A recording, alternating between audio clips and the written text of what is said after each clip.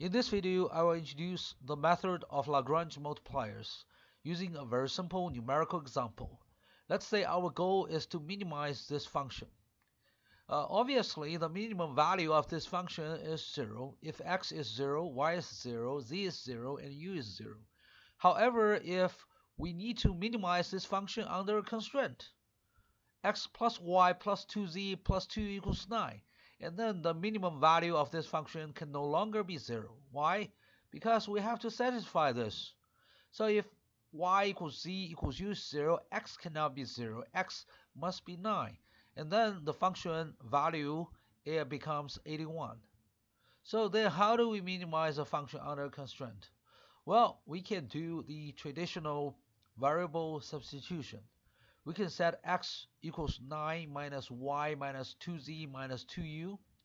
That will help us to uh, reduce the number of variables from 4 to 3 and also incorporate the constraint here by substituting x with 9 minus y minus 2z minus u.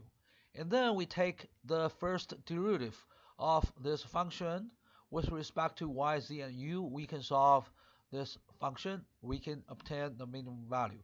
However, this can be very tedious if we have a huge number of variables. So I'm going to introduce you to this method of Lagrange multiplier that can be used to uh, solve this kind of problems systematically. And the first, we need to define a Lagrange function, also known as Lagrangian. And usually it's a curly L, but for convenience, we'll just use uh, uh, just regular L instead of this curly L hereafter. So first, how do we uh, define this L? L is simply the function you want to minimize or maximize. It doesn't matter. So this is a function, uh, in this case, we want to minimize this function.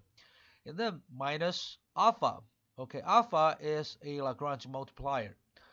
Times, okay, over here, that's the constraint. So what is this constraint? Okay, x plus y plus 2z plus 2u equals 9. Therefore, x plus y plus 2z plus 2u minus 9 is always 0.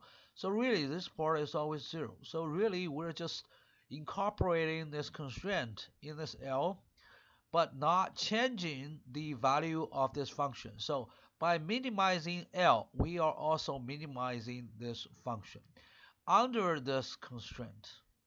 All right, so this is called Lagrangian or Lagrange function. Now we're going to minimize L under this constraint. And again, alpha is called a Lagrange multiplier.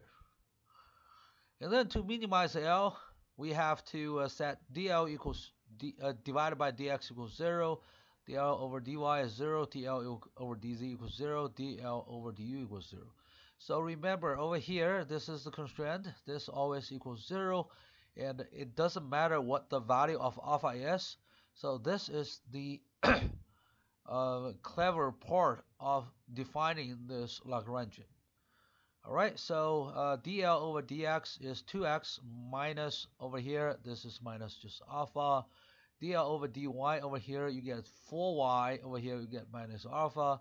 Similarly, we have dl over dz, dl over du. So we get four linear functions. And really, those are uh, simple functions. Alpha equals 2x, alpha equals 4x, 2 alpha equals 8z, 2 alpha equals 4u. And therefore, x equals 1 half of alpha, y equals 1, uh, 1 quarter of alpha, z is 1 quarter of alpha, u equals uh, 1 half of alpha.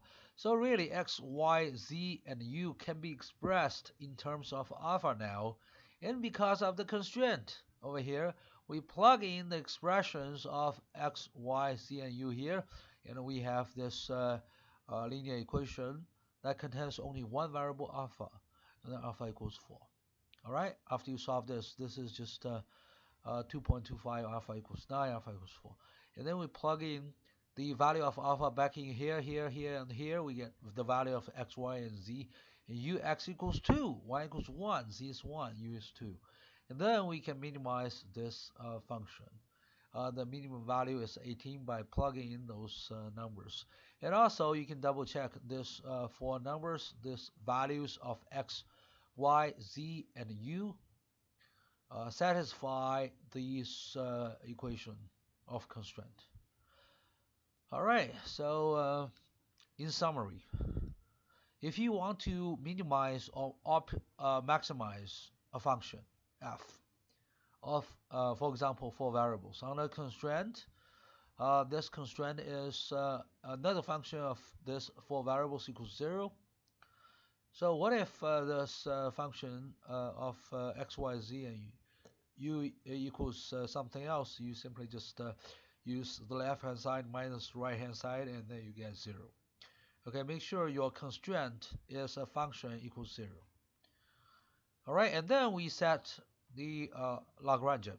The Lagrangian equals the function to be optimized, either minimize or maximize, minus, over here alpha is uh, the so-called Lagrange multiplier uh, times uh, the constraint. You know here because this g is always equals 0 that means by uh, minimizing or maximizing L we are simultaneously minimizing and maximizing this f. And also because alpha can be uh, any value and g is always 0 this means we're minimizing or maximizing this f under the constraint uh, which is this g is always equal to 0. Again, uh, uh, by uh, uh, minimizing the tail, uh, we get four additional equations, one for each variable. by doing dl over dx equals 0, dl over dy equals 0, and so on, we have four more equations. And plus we have one constraint. So our constraint in this numerical example is this. Anyway, we have a total of five functions and five variables, x, y, z, u, and alpha. We solve these uh, five equations. We obtain the values of the five variables. Um, I will post another video in which uh, uh, I will minimize or maximize a function uh, under two different constraints.